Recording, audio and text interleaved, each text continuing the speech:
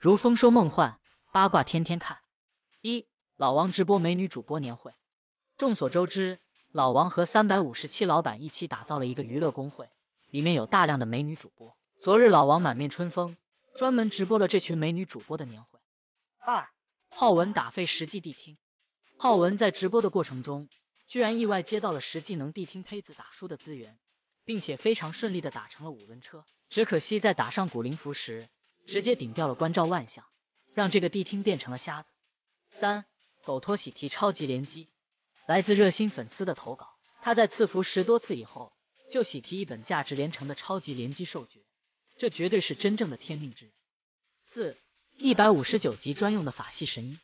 逍遥三界这件一百六十级简易男衣服，出防二百六十点，体魔双加了五十四点，最为重要的是附加了百分之三点五二的法爆伤害，看上去非常适合一百五十九法系使用。